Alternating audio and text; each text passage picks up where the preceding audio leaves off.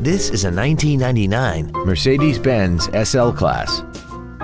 This convertible has an automatic transmission and a 5.0-liter engine.